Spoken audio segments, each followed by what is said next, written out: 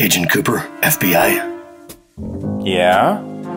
I'm with the National Security Agency. What can I do to help, mister? I know that you encountered a sinister man dressed in black, and he killed Agent Thompson with a weapon of some kind, correct?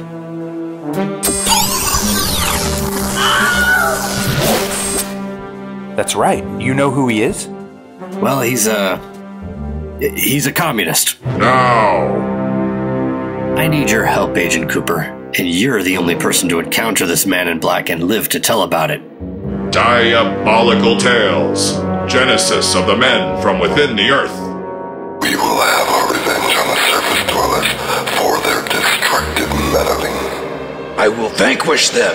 A two part radio drama based on the motion picture by Cosmic Control Productions. It's a measure of national defense. Now available on the Diabolical Tales Radio Hour.